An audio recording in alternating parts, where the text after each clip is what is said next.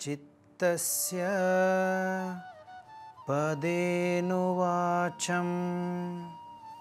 मलं शरीरं च वैद्यकेन योपाकरोत्तं प्रवरं मुनीना ಪತಂಜಲಿಂ ಪ್ರಾಂಜಲಿರಾನತೋಸ್ಮಿಂ ಸರಳ ಜೀವನ ವಾಹಿನಿಯ ಎಲ್ಲ ಆತ್ಮೀಯ ಯೋಗಾಸಕ್ತರಿಗೆ ಯೋಗ ಆಚಾರ್ಯ ರಂಜನ್ ಸೌಂದತಿಮಠ್ ಸನಾತನ ಭಾರತೀಯ ಶತಾಯುಷ ಸಂಸ್ಥೆ ಬೈಲ್ಹೊಂಗಲ್ ಸರ್ವರಿಗೂ ಶರಣು ಶರಣಾರ್ಥಿಗಳು. ಇವತ್ತಿನ ವಿಷಯ ಏನು ಅಂತ ಕೇಳಿದರೆ ಟೀಚರ್ಸ್ ಹಾಗೂ ಪೊಲೀಸರ ಕುರಿತಾಗಿ. ಸಮಾಜದಲ್ಲಿ ಶಿಕ್ಷಕರ ಪಾತ್ರ ಏನಿದೆ? ಪೊಲೀಸರ ಪಾತ್ರ ಏನಿದೆ? ಶಿಕ್ಷಕರು ಈ ಮಗುವಿಗೆ ಅ, ಆ, ಇ ಇಂದ ಹಿಡಿದು ಕೊನೆಯವರೆಗೂ ತಮ್ಮ ಜೀವನವನ್ನು ಹೇಗೆ ಸಾಗಿಸಬೇಕು? ಯಾವ ರೀತಿ ಇರಬೇಕು? ಸಾವಿರಾರು ವಿದ್ಯಾರ್ಥಿಗಳವರಲ್ಲಿ ಕಲಿತ್ಬಿಟ್ಟು ಒಬ್ಬ ಪ್ರಧಾನಮಂತ್ರಿ ಕೂಡ ಆಗ್ಬೋದು, ಒಬ್ಬ ನೌಕರು ಕೂಡ ಆಗ್ಬೋದು, ಟೀಚರ್ಸ್ ಆಗ್ಬೋದು, ಎಲ್ಲ ರೀತಿ ಆಗುವಂಥ ಯಾರಿಂದ ತಯಾರಾಗ್ತಾರೆ? ಟೀಚರ್ಸಿಂದ ಆಗ್ತಾರೆ. ಅದಕ್ಕೆ ಮೊದಲು ಟೀಚರ್ಸಲ್ಲಿ ಏನು ತೊಂದರೆಗಳಾಗ್ತಾ ಇದೆ? ಮನಸ್ಸಿಗೆ ಶಾಂತಿ ಬೇಕು, ನೆಮ್ಮದಿ ಇರಬೇಕು. ಅವರಲ್ಲಿ ಕಲಿತ್ಬಿಟ್ಟು ಎಷ್ಟೋ ವಿದ್ಯಾರ್ಥಿಗಳು ಸಮಾಜದಲ್ಲಿ ತಂದೆ, ತಾಯಿಗೆ, ಸಮಾಜಕ್ಕೆ ಒಳ್ಳೆಯ ಕೊಡುಗೆಯನ್ನು ಕೊಡಬೇಕಂದ್ರೆ ಮುಖ್ಯವಾದಂಥ ಪಾತ್ರ ಯಾರ್ದು? ಟೀಚರ್ಸ್ ಇರುತ್ತೆ. ಪೊಲೀಸರು, ಟ್ರಾಫಿಕ್ ಪೊಲೀಸ್ ತಗೊಳ್ಳಿ, ಹೋಮ್ ಗಾರ್ಡ್ಸ್ ತಗೊಳ್ಳಿ. ನೋಡಿ, ಇವರ ಸಮಸ್ಯೆಗಳು ಹೇಗಂತಂದರೆ, ಇವರಿಗೆ ಸಮಯನೇ ಇಲ್ಲ. ಬೆಳಗ್ಗೆ, ರಾತ್ರಿ, ಮಧ್ಯಾಹ್ನ ಯಾವಾಗ ತೊಂದರೆಗಳಾಗತ್ತೆ ನಮಗಾಗಲಿ ಇನ್ನೊಬ್ಬರಿಗಾಗಲಿ ಯಾರಿಗೆ ತೊಂದರೆ ಆದರೂ ಕೂಡ ಪೊಲೀಸರು ಹೋಗಲೇಬೇಕಾಗತ್ತೆ. ಅದಕ್ಕೆ ಅವರಿಗೆ ಮಾನಸಿಕ ಒತ್ತಡ ಜಾಸ್ತಿ ಇರುತ್ತೆ. ದೈಹಿಕ ಒತ್ತಡ, ಯಾಕಂದರೆ ಒಮ್ಮೆ ಕುಂದ್ರೆ ಕುಂಡಿರಬೇಕು, ಆಮೇಲೆ ಗಾಡಿ ಮೇಲೆ ಹೋಗಬೇಕು, ಬರಬೇಕು. ಜನರ ಸಮಸ್ಯೆಗಳೇ ಜಾಸ್ತಿ ಆಗಿದೆ, ಅದೆಲ್ಲ ತೊಗೊಂಡ್ಬಿಟ್ಟು ವಿಚಾರ ಮಾಡುವಂಥ ಶಕ್ತಿ ಬರಬೇಕಂದ್ರೆ ಅವರಿಗೆ ಧ್ಯಾನ ಭಾಳ ಅವಶ್ಯವಾಗಿದೆ. ಒಂದಿಷ್ಟು ಟೆಕ್ನಿಕ್ಸ್ ಇರುತ್ತೆ, ಅದನ್ನು ಕರೆಕ್ಟಾಗಿ ಫಾಲೋ ಅಪ್ ಮಾಡಿದರೆ ಏನಾಗ್ತಾರೆ? ಪೊಲೀಸರಲ್ಲಿ ಆರೋಗ್ಯ ಸುಧಾರಣೆ ಆಗುತ್ತೆ. ಅದೇ ರೀತಿ ಟ್ರಾಫಿಕ್ ಪೊಲೀಸ್ ನೋಡಿ. ಟ್ರಾಫಿಕ್ ಪೊಲೀಸ್, ನಾನೇ ಇಲ್ಲಿ ಬೆಂಗಳೂರು ಬಂದಾಗ, ನೀವು ಕೂಡ ಬಂದಾಗ ಎಷ್ಟೆಷ್ಟು ಗಾಡಿಗಳು ಬರ್ತಾ ಇರುತ್ತೆ, ಪೊಲ್ಯೂಷನ್ ಆಗ್ತಾ ಇರುತ್ತೆ. ಅಲ್ಲಿ ಅವ್ರ ಮಧ್ಯದಲ್ಲಿ ನಿಂತ್ಬಿಟ್ಟು ಗಾಡಿಗಳನ್ನ ಕಂಟ್ರೋಲ್ ಮಾಡಿ, ಉಸಿರಾಟದ ಸಮಸ್ಯೆ, ಈ ರೀತಿ ಸಾವಿರಾರು ಸಮಸ್ಯೆಗಳು, ಎಷ್ಟೆಷ್ಟು ಗಾಡಿ ಬಂದು ರೋಗಗಳು ಬರ್ತಾ ಇದೆ. ಅದಕ್ಕೆಲ್ಲರೂ ಇದಕ್ಕೆ ಪೊಲೀಸರು ಭಾಳ ಜಾಗ್ರತೆ ವಹಿಸಿ ಶರೀರವನ್ನು ಕಾಪಾಡ್ಕೋಬೇಕು. Home guards. ಈ ರೀತಿ ಎಲ್ಲರೂ ಕೂಡ ಶರೀರವನ್ನು ಕಾಪಾಡ್ಕೋಬೇಕು. ಮುಖ್ಯವಾಗಿ ಈ ಪೊಲೀಸರು ಏನು ನಡೀತಿಲ್ಲ ಸೌಂಡ್ ಪೊಲ್ಯೂಷನ್ ಜಾಸ್ತಿ ಆಗ್ತಾ ಇರುತ್ತೆ. ಇದೇ ರೀತಿ ಇವೆಲ್ಲ ದೂರ ಆಗಬೇಕಂದ್ರೆ ಧ್ಯಾನ ಭಾಳ ಅವಶ್ಯವಾಗಿದೆ. ನಿಮ್ಮಲ್ಲಿ ಎಷ್ಟೆಷ್ಟೋ ರೋಗಗಳು ನೋಡಿ, ಇತ್ತೀಚಿನ ದಿನಗಳಲ್ಲಿ ಸ್ಟ್ರೆಸ್, ಮಾನಸಿಕ ಒತ್ತಡ ಜಾಸ್ತಿ ಆಗ್ತಾ ಇದೆ. ಒಂದು ಹುಟ್ಟಿದ ಮಗುವಿನಿಂದ ಹಿಡಿದು ವಯಸ್ಸಾದವರಿಗೂ ಕೂಡ ಮಾನಸಿಕ ಒತ್ತಡ ಇದೆ. ಅದಕ್ಕೆ ಇದು ದೂರ ಆಗಬೇಕಂದ್ರೆ ಈ ಯೋಗ ಭಾಳ ಅವಶ್ಯ. ಅದರಲ್ಲಿ ಧ್ಯಾನ ಬಹಳ ಮುಖ್ಯವಾಗಿದೆ. ಪ್ರತಿಯೊಬ್ಬ ಈ ಸಮಾಜದಲ್ಲಿ ಯೋಗವನ್ನು ಕಲಿಯೋದ್ರಿಂದ ಎಷ್ಟೆಷ್ಟೋ ಮಾನಸಿಕ, ದೈಹಿಕ ಒತ್ತಡಗಳು ದೂರ ಆಗುತ್ತೆ, ಸಮಾಜ ಸುಧಾರಣೆ ಆಗುತ್ತೆ ಅದಕ್ಕೆ ಶಿಕ್ಷಕರು, ಪೊಲೀಸರು ಇದನ್ನು ಸರಿಯಾದ ರೀತಿ ಪಾಲನೆಯನ್ನು ಮಾಡಿ, ನೀವು ಪರಿಪೂರ್ಣವಾಗಿ ಮಾಡಿದರೆ ನಿಮ್ಮಲ್ಲಿ ತೊಂದರೆಗಳು ದೂರ ಆಗುತ್ತೆ. ಅದಕ್ಕೆ ಪೊಲೀಸರು ಕೂಡ ನಿಮ್ಮ ಕೆಲಸದಲ್ಲಿ ಮಗ್ನ ಇದ್ದಾಗ ಒಂದು ಐದು ನಿಮಿಷ ನಿಧಾನವಾಗಿ ವಿಚಾರ ಮಾಡಿದರೆ ನಿಮ್ಮಲ್ಲಿ ಸಿಟ್ಟು ಕಡಿಮೆ ಆಗುತ್ತೆ. ಜಾಸ್ತಿ ಜನರು ಪೊಲೀಸರು ಸಿಟ್ಟು ಮಾಡ್ತಿರ್ತಾರೆ, ಬೈತಿರ್ತಾರೆ. ಯಾಕೆ? ಒತ್ತಡ ಜಾಸ್ತಿ ಇರುತ್ತೆ. ಅದು ಅವ್ರ ತಪ್ಪಲ್ಲ, ಮಾನಸಿಕದ ಒತ್ತಡ ಅದರಿಂದ ಮಾಡ್ತಿರ್ತಾರೆ. ಅದಕ್ಕಾಗಿ ಅವ್ರು ಏನು ಮಾಡ್ಕೋಬೇಕು? ಸರಿಯಾದ ರೀತಿ ಧ್ಯಾನವನ್ನು ಮಾಡಿದರೆ ಅವ್ರು ಇವತ್ತು ಒಂದು ಕೇಸ್ ಬಗೆಹರಿಸೋ ಬದಲಿ ಎರಡು, ಮೂರು, ನಾಲ್ಕು ಈ ರೀತಿ ಕೆಪಾಸಿಟಿ ಅವರಲ್ಲಿ ಬರುತ್ತೆ. ಅದರಿಂದ, ಧ್ಯಾನದಿಂದ, ಯೋಗದಿಂದ. ಅದಕ್ಕೆ ಸರಿಯಾಗಿ ಮಾಡಿ ಇದರ ಲಾಭವನ್ನು ಪಡೆದುಕೊಳ್ಳಿ.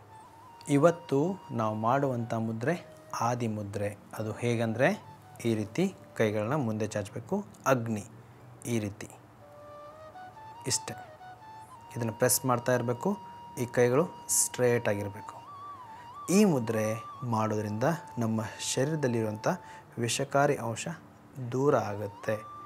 ಯಾರು ಧ್ಯಾನವನ್ನು ಮಾಡ್ತಿರ್ತಾರಲ್ಲ ಅವರಲ್ಲಿ ಸೀನ್ ಬರೋದು, ಆಕಳಿಕೆ ಬರೋದು ಇತ್ತಂದರೆ ದೂರ ಆಗುತ್ತೆ. ಅದು ಅವ್ರಿಗೆ ಇದು ಬಹಳ ಮುಖ್ಯವಾದಂಥ ಮುದ್ರೆ.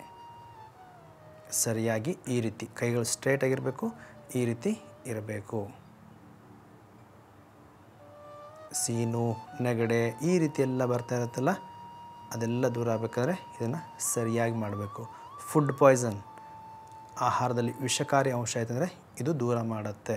ಅದಕ್ಕೆ ಇದನ್ನು ಸರಿಯಾಗಿ ಒಂದು ಐದರಿಂದ ಹತ್ತು ನಿಮಿಷವರೆಗೂ ನೀವು ಮಾಡಿದರೆ ನಿಮ್ಮಲ್ಲಿ ಇರುವಂಥ ತೊಂದರೆಗಳು ದೂರ ಆಗ್ತಾ ಬರುತ್ತೆ. ಇದು ಆದ ಮೇಲೆ ಒಂದಿಷ್ಟು ರಿಲ್ಯಾಕ್ಸಿಂಗ್ ಮಾಡೋಣ. ಅದು ಹೇಗಂದರೆ ಮೊದಲನೇದಾಗಿ ಇಷ್ಟು ನೇರವಾಗಿ ಕುಂತಿರಬೇಕು. ಶರೀರವನ್ನು ಸಂಪೂರ್ಣವಾಗಿ ರಿಲ್ಯಾಕ್ಸ್ ಮಾಡಿರಬೇಕು. ಆಮೇಲೆ ನಿಧಾನವಾಗಿ ಭುಜವನ್ನು ಎಷ್ಟಾಗುತ್ತೋ ಅಷ್ಟು ಮೇಲ್ದೋಗಿ ಉಸಿರನ್ನು ಹಿಡಿಬೇಕು. ಬೆನ್ನು ನೇರವಾಗಿರಬೇಕು.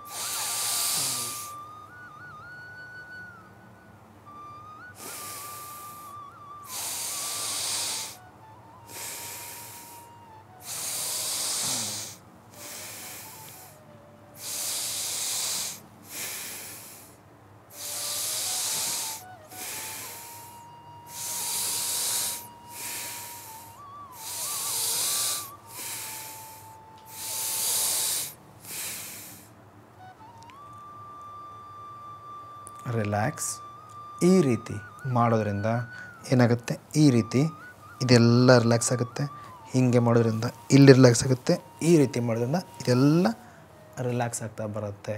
ಟೀಚರ್ಸು ಜಾಸ್ತಿ ಕುಂಡ್ರೋದಿರುತ್ತೆ, ಅಡ್ಡಾಡೋದಿರುತ್ತೆ, ಜಾಸ್ತಿ ಆ ಪ್ರೊಜೆಕ್ಟು, ಈ ಪ್ರಾಜೆಕ್ಟು ಅಂತ ಅಡ್ಡಾಡ್ತಿರ್ತಾರಲ್ಲ, ಅವ್ರಿಗೆ ಇದೆಲ್ಲ ಕುತ್ತಿಗೆ ನೋವು ಬೆನ್ನು, ನಮ್ಮ ಎಷ್ಟು, ನಮ್ಮಲ್ಲಿ ಎಷ್ಟೋ ಜನ ಶಿಕ್ಷಕರು ಬಂದು ಭೇಟಿಯಾಗಿರ್ತಾರೆ ಶಿಬಿರದಲ್ಲಿ. ಸಮಸ್ಯೆಗಳು ಜಾಸ್ತಿ ಹೇಳ್ತಿರ್ತಾರೆ ಅವರಿಗೆ ಈ ರೀತಿ ಮಾಡೋದ್ರಿಂದ ಭುಜ, ಬೆನ್ನು ರಿಲ್ಯಾಕ್ಸ್ ಆಗುತ್ತೆ. ಪೊಲೀಸರು ಜಾಸ್ತಿ ಸ್ಟ್ರೈನಿಂದ ಓಡಾಡ್ತಾ ಇರ್ತಾರೆ. ಯಾವಾಗ ಬೇಕೋ ಹೇಳೋದು ಓಡಾಡ್ದಿರುತ್ತಲ್ಲ ಅವ್ರಿಗೆ ಭುಜದ ನೋವು, ಬೆನ್ನು ನೋವು ಜಾಸ್ತಿ ಇರುತ್ತೆ. ಅವ್ರಿಗೂ ಇದು ಬಹಳ ಉಪಯೋಗ ಆಗುತ್ತೆ. ಇದು ಆದಮೇಲೆ ಒಂದಿಷ್ಟು ಕ್ರಿಯೆಗಳನ್ನ ಮಾಡೋಣ. ಕ್ರಿಯೆಗಳಲ್ಲಿ ಜಲನೀತಿ, ಸೂತ್ರನೀತಿ, ಈ ರೀತಿ ವಾಮನ, ಈ ರೀತಿ ಎಲ್ಲ ಕ್ರಿಯೆಗಳು ಇರುತ್ತೆ ನಾ ಇವತ್ತು ಜಲನೀತಿಯನ್ನು ತೋರಿಸ್ತೀನಿ. ಯಾವುದೇ ಒಂದು ಕ್ರಿಯೆಗಳನ್ನ ಮಾಡಬೇಕಾದ್ರೆ ಗುರುವಿನ ಮುಖಾಂತರ ಮಾಡೋದು ಬಹಳ ಸೂಕ್ತ. ಇವತ್ತು ನಾವು ಮಾಡುವಂಥ ಕ್ರಿಯೆ ಜಲನೀತಿ. ಅದು ಹೇಗಂತಂದರೆ ಮೊದಲನೇದಾಗಿ ಈ ರೀತಿ ಒಂದು ಪಾಟ್ ಇರುತ್ತೆ. ಅದರಲ್ಲಿ ಒಂದು ಸ್ವಲ್ಪ ಬಿಸಿ ನೀರು. ಒಂದು ಸ್ವಲ್ಪ ಬಿಸಿ ನೀರು ಇರುತ್ತೆ. ಅದರಲ್ಲಿ ಸ್ವಲ್ಪ ಉಪ್ಪು ಅಷ್ಟಿರುತ್ತೆ. ಇದನ್ನು ಸರಿಯಾಗಿ ನಾವು ಭಾಳ ಬಿಸಿನೂ ಇರಬಾರ್ದು. ಭಾಳ ಬಿಸಿ ಇರಬಾರ್ದು. ಆಮೇಲೆ ಲೈಟ್ ವಾರ್ಮ್ ಆಗಿರ್ಬೇಕು ಅಷ್ಟೇ.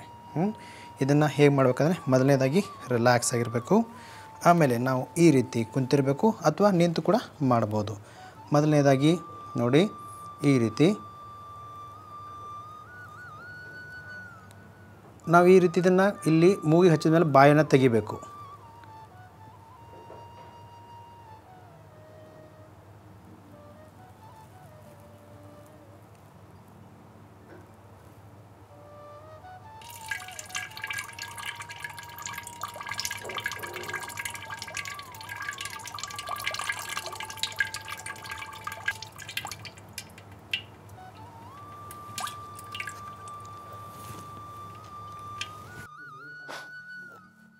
ಜಲನೀತಿ.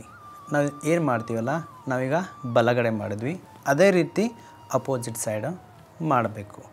ಇದು ಆದ ಮೇಲೆ ಏನಾಗಿರುತ್ತಲ್ಲ, ಈ ಮಾಡಿದಾಗ ಎಷ್ಟೋ ಜನರು ಬಾಯಿಂದ ನೀರು ಬರ್ತಾ ಇರುತ್ತೆ, ಈ ಕಡೆ ನೀರು ಹೋಗ್ತಾ ಇರುತ್ತೆ, ಸರಿಯಾದ ಕ್ರಮವಾಗಿ ಮಾಡಬೇಕು. ಇಲ್ಲಾಂದರೆ ಈ ಭಾಗ, ಇಲ್ಲೆಲ್ಲ ಕಡೆ ನೀರು ಹೋಗಿರುತ್ತೆ ಆವಾಗ ಮ್ಯಾಗ್ರಿನ್ ಬರ್ಬೋದು, ನೆಗಡೆ, ಈ ರೀತಿ ಎಷ್ಟೆಷ್ಟು ಪ್ರಾಬ್ಲಮ್ಗಳು ಆಗೋ ಚಾನ್ಸಸ್ ಇರುತ್ತೆ. ಅದಕ್ಕೆ ಸರಿಯಾಗಿ ಮಾಡೋದ್ರಿಂದ ಈ ನಾಸ್ಟ್ರಿಲ್ ಈ ಉಸಿರಾಟದ ಸಮಸ್ಯೆ, ಆಮೇಲೆ ದುರ್ಮಾಂಸ ಬೆಳೀತಾ ಇರುತ್ತೆ ಅಂತ ಏನು ಹೇಳ್ತಾರಲ್ಲ, ಅದೆಲ್ಲದಕ್ಕೂ ಇದು ರಾಮಬಾನ ಎಸ್ಪೆಷಲಿ ಟ್ರಾಫಿಕ್ ಪೊಲೀಸ್ ಅಂತ ಏನು ಹೇಳಿದ್ವಲ್ಲ, ಅವರು ಜಾಸ್ತಿ ಪೊಲ್ಯೂಷನ್ ಆಗ್ತಾ ಇರುತ್ತೆ. ಅದರ ಸಲುವಾಗಿ ಇದನ್ನು ಮಾಡೋದ್ರಿಂದ ಇದೆಲ್ಲ ತೊಂದರೆ ದೂರ ಆಗುತ್ತೆ. ಇದು ಆದ ಮೇಲೆ ಒಂದು ಪ್ರಾಣಾಯಾಮವನ್ನು ಮಾಡೋಣ. ಸೂರ್ಯ ಭೇದನ ಪ್ರಾಣಾಯಾಮ. ಅದು ಹೇಗೆ ಅಂತಂದರೆ ನಾವು ಇದನ್ನು ವಜ್ರಾಸನ, ಸುಖಾಸನದಲ್ಲಿ ಅಥವಾ ಪೂರ್ಣ ಪದ್ಮಾಸನದಲ್ಲಿ ಕುಂತುಬಿಟ್ಟು ಮಾಡಬಹುದು. ಮೊದಲನೇದಾಗಿ ನೇರವಾಗಿ ಕುಂತಿರಬೇಕು. ಧ್ಯಾನ ಮುದ್ರೆಯಲ್ಲಿ ಎಡಗೈ ಧ್ಯಾನ ಮುದ್ರೆಯಲ್ಲಿರುತ್ತೆ. ಆಮೇಲೆ ನಿಧಾನವಾಗಿ ನಾವು ವಿಷ್ಣು ಮುದ್ರೆ, ವಿಷ್ಣು ಮುದ್ರೆಯಲ್ಲಿ ಬರಬೇಕು, ವಿಷ್ಣು ಮುದ್ರೆಯಲ್ಲಿ ಬರಬೇಕು. ಆಮೇಲೆ ಸೂರ್ಯ ಅಂದರೆ ಬಲಗಡೆ ಬಲಗಡೆ ಆ್ಯಕ್ಟಿವ್ ಇರುತ್ತೆ. ಎಡಗಡೆ ಪೂರ್ತಿಯಾಗಿ ಕ್ಲೋಸ್ ಮಾಡಿರಬೇಕು. ಕುತ್ತಿಗೆ ನೇರವಾಗಿರಬೇಕು. ಎಡಗಡೆ ಸಂಪೂರ್ಣವಾಗಿ ಕ್ಲೋಸ್ ಆಗಿರಬೇಕು. ಮೊದಲನೇದಾಗಿ ಉಸಿರನ್ನು ಬಲಗಡೆ ಮೂಗಿನಿಂದ ಹೊರ ಹಾಕಬೇಕು ಮೂಗಿನಿಂದ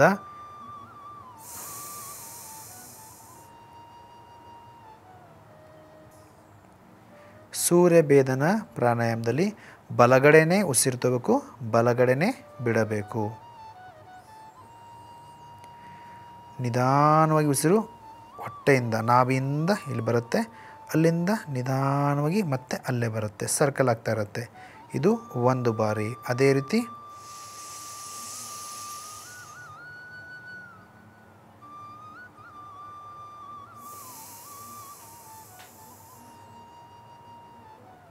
ರಿಲ್ಯಾಕ್ಸ್ ಈ ರೀತಿ ಐದು ಬಾರಿ ಅಥವಾ ಒಂಬತ್ತು ಬಾರಿ ನಿಧಾನವಾಗಿ ಮಾಡೋದ್ರಿಂದ ನಮಗೇನಾಗುತ್ತೆ? ಇಲ್ಲಿ ಬಲಗಡೆ ಮಾಡ್ತಿರ್ತೀವಲ್ಲ, ಬಲಗಡೆ ಆಗ್ತಿರೋದ್ರಿಂದ ಬಿಸಿ ಆಗುತ್ತೆ ಶರೀರ. ಯಾರಿಗೆ ನೆಗಡೆ ಇರುತ್ತೆ, ಅವ್ರ ಸಮಸ್ಯೆ ದೂರ ಆಗುತ್ತೆ. ಮೆದುಳು ಶಾಂತವಾಗುತ್ತೆ, ಎಡಗಡೆ ಬ್ರೈನು ಶಾಂತ ಆಗುತ್ತೆ. ಅದೇ ರೀತಿ ಯಾರ ತೂಕ ಹೆಚ್ಚಿರುತ್ತೆ ಒಬೆಸಿಟಿ ಇರುತ್ತೆ, ಅವ್ರು ಇದನ್ನು ಮಾಡೋದ್ರಿಂದ ಅವರಲ್ಲಿ ಒಬೆಸಿಟಿ ಕೂಡ ಕಡಿಮೆ ಆಗ್ತಾ ಬರುತ್ತೆ. ತೂಕ ನಿಯಂತ್ರಣಕ್ಕೆ ಬರುತ್ತೆ. ಇದು ಬಹಳ ಮುಖ್ಯವಾದ ಪ್ರಾಣಾಯಾಮ, ಇದನ್ನು ಮಕ್ಕಳು ಮಾಡೋದ್ರಿಂದ ಜ್ಞಾಪಕ ಶಕ್ತಿ ಕೂಡ ವೃದ್ಧಿ ಆಗುತ್ತೆ. ಶರೀರದಲ್ಲಿ ಬಿಸಿ ಮಾಡುತ್ತೆ. ಯಾರು ಜಾಸ್ತಿ ತಂಪಿರ್ತಾರಲ್ಲ, ಅವರಿಗೆ ಏನು ಮಾಡುತ್ತೆ? ಬಿಸಿ ಆಗುತ್ತೆ. ಅದಕ್ಕೆ ಸರಿಯಾಗಿ ಮಾಡೋದ್ರಿಂದ ಇದು ನಿಯಂತ್ರಣಕ್ಕೆ ಬರುತ್ತೆ. ಇದು ಬಹಳ ಪರಿಣಾಮಕಾರಿಯಾದಂಥ ಪ್ರಾಣಾಯಾಮ. ಇದನ್ನು ಗುರುಮುಖೇನವಾಗಿ ನೀವು ಕಲಿಯಿರಿ. ಇವತ್ತಿನ ಸುಭಾಷಿತ ವೀಟ್ ಗ್ರಾಸ್, ಗೋಧಿ ಹುಲ್ಲಿನ ಜ್ಯೂಸ್. ಏನು ಮಾಡಬೇಕಂದ್ರೆ ಅರ್ಧ ಗ್ಲಾಸ್ ಅಥವಾ ಒಂದು ಗ್ಲಾಸ್ ನೀರನ್ನು ಬಿಸಿ ಮಾಡಬೇಕು. ಅದರಲ್ಲಿ ಒಂದು ಸ್ಪೂನಷ್ಟು ಈ ಗೋಧಿ ಹುಲ್ಲಿನ ಪೌಡ್ರ್ ಹಾಕಬೇಕು. ಬೇಕಿದ್ದರೆ ಒಂದು ಸ್ಪೂನ್ ಜೇನುತುಪ್ಪವನ್ನು ಹಾಕಬೇಕು. ಡಯಾಬಿಟೀಸ್ ಯಾರತ್ತಲ್ಲ, ಜೇನುತುಪ್ಪ ಹಾಕೋದು ಬೇಡ. ಅವ್ರೇನು ಮಾಡಬೇಕಂದ್ರೆ ಅದನ್ನು ಬೆಳಗ್ಗೆ ಎದ್ದು ಖಾಲಿ ಹೊಟ್ಟೆಯಲ್ಲಿ ತಗೋಬೇಕು. ತಗೋದ್ರಿಂದ ಇದರಿಂದ vitamin A vitamin C and vitamin E ಇರುತ್ತೆ. ಇದರಿಂದ ಸೌಂದರ್ಯ ಕೂಡ ವೃದ್ಧಿ ಆಗುತ್ತೆ ಇದರಲ್ಲಿ magnesium calcium iron, amino acids ಇವೆಲ್ಲ ಸತ್ವಗಳು ಕೂಡ ಇರುತ್ತೆ. ಇದನ್ನು ರೋಗ ನಿರೋಧಕ ಶಕ್ತಿ ಅಂತ ಹೇಳ್ತೀವಿ. ಇದರಿಂದ ಯಾರಿಗೆ ಮೊಣಕಾಲು ನೋವು ಇರ್ಬೋದು ಬೆನ್ನು ನೋವು ಇರ್ಬೋದು ಕುತ್ತಿಗೆ ನೋವು ಇರ್ಬೋದು, ಆಮೇಲೆ ಓವರ್ ಸ್ಟ್ರೆಸ್ ಇರ್ಬೋದು, ಈ ರೀತಿ ಇತ್ತಂದರೆ ಅವರಿಗೆ ಬಹಳ ಪರಿಣಾಮಕಾರಿಯಾಗುತ್ತೆ. ಅದಕ್ಕೆ ಇದನ್ನು ಪ್ರತಿದಿನ ಅಥವಾ ವಾರದಲ್ಲಿ ಎರಡು ಬಾರಿ ನಿಮ್ಮ ನಿಮ್ಮ ತೊಂದರೆಗಳು ಹೇಗಿರುತ್ತೆ ಅಂಥೇಳಿ ಕನ್ಸಲ್ಟ್ ಮಾಡಿ ಕರೆಕ್ಟಾಗಿ ತಿಳ್ಕೊಂಬಿಟ್ಟು ತಗೋದು ಬಹಳ ಒಳ್ಳೆಯದು. ಇವತ್ತಿನ ಸುಭಾಷಿತ. ಬುದ್ಧಿ, ಸ್ವಭಾವ ಮತ್ತು ಗುಣ. ಈ ಮೂರನ್ನು ಯಾರಿಂದಲೂ ಕದಿಯಲು ಅಸಾಧ್ಯ. ಅದು ಹೇಗೆಂದರೆ ನಮ್ಮ ಬುದ್ಧಿ. ನಾವು ಹೇಗೆ ವಿಚಾರಗಳನ್ನ ಮಾಡ್ತೀವಿ, ಆ ರೀತಿ ನಮ್ಮ ಬುದ್ಧಿ ಓಡುತ್ತೆ. ನಮ್ಮ ಸ್ವಭಾವ, ನಾವು ಒಳ್ಳೆಯವರ, ಕೆಟ್ಟವರ, ಏನು ಮಾಡಬೇಕು, ಸಮಾಜದಲ್ಲಿ ಹೇಗಿರಬೇಕು, ಇದು ನಮ್ಮ ಸ್ವಭಾವ. ಗುಣ. ಒಳ್ಳೆಯ ಗುಣ ಇವೆಲ್ಲವನ್ನು ಬೆಳೆಸ್ಕೋಬೇಕಂದ್ರೆ, ಈ ಮೂರು ಸಂಪತ್ತನ್ನು ನಾವು ಗಳಿಸ್ಕೋಬೇಕಂದ್ರೆ ನಮಗೆ ಒಳ್ಳೆಯ ಸಂಸ್ಕಾರ ಬೇಕು. ಆ ಒಳ್ಳೆಯ ಸಂಸ್ಕಾರ ಬಾಲ್ಯದಿಂದ ಇರಬೇಕು ಅಥವಾ ನಮಗೆ ಎಷ್ಟೇ ವಯಸ್ಸಾಗಲಿ, ಆ ವಯಸ್ಸಿನಲ್ಲಿ ನೀವು ಸಂಸ್ಕಾರವನ್ನು ಕಲಿಯೋದ್ರಿಂದ ಸಮಾಜಕ್ಕೆ ಒಳ್ಳೆಯ ಪ್ರಜೆಗಳಾಗ್ತೀರಿ. ಅದರಿಂದ ಯೋಗದಿಂದ. ಇವತ್ತಿಂದನೇ ಪ್ರಾರಂಭ ಮಾಡಿ. ಏನು ತೊಂದರೆ ಇಲ್ಲ. ಇವತ್ತಿಂದ ಪ್ರಾರಂಭ ಮಾಡಿ. ಒಳ್ಳೆಯ ಗುಣ, ಒಳ್ಳೆಯ ಸ್ವಭಾವ ಒಳ್ಳೆಯ ಬುದ್ಧಿ ಬರ್, ಬರೋದರಿಂದ ನಿಮ್ಮಲ್ಲಿ ಒಳ್ಳೆಯ ವಿಚಾರಗಳು ಸಿಗುತ್ತೆ. ಅದು ಯೋಗ, ಧ್ಯಾನ, ಪ್ರಾಣಾಯಾಮದಿಂದ ಮಾತ್ರ ಸಾಧ್ಯ. ಮುಂದಿನ ಸಂಚಿಕೆಯಲ್ಲಿ ಮತ್ತೆ ಭೇಟಿಯಾಗೋಣ. ಅಲ್ಲಿವರೆಗೆ ನೋಡ್ತಾ ಇರಿ. ಸರಳ ಜೀವನ. ಇದು ಮನಕುಲದ ಒಳತಿಗಾಗಿ ಸರ್ವೇ ಜನೋ ಸುಖಿನೋ ಭವಂತು. ಪತಂಜಲಿ ಸ್ವದೇಶಿ ಭಂಡಾರ ವತಿಯಿಂದ ಆಯೋಜಿಸಿರುವ ಯೋಗ ಶಿಬಿರಕ್ಕೆ ಸರ್ವರಿಗೂ ಆದರದ ಸ್ವಾಗತ. ದಿನಾಂಕ ಸೆಪ್ಟೆಂಬರ್ ಹದಿನಾಲ್ಕು. ಸ್ಥಳ ಶ್ರೀ ರಾಘವೇಂದ್ರ ಸ್ವಾಮಿ ದೇವಾಲಯ, ಕೋಟೆ ಬೀದಿ, ಚನ್ನಪಟ್ಟಣ. ಹೆಚ್ಚಿನ ಮಾಹಿತಿಗಾಗಿ ಸಂಪರ್ಕಿಸಿ ಒಂಬತ್ತು ಮೂರು ನಾಲ್ಕು ಮೂರು ಎಂಟು ಆರು ಎಂಟು ಸೊನ್ನೆ ಒಂಬತ್ತು ಎಂಟು.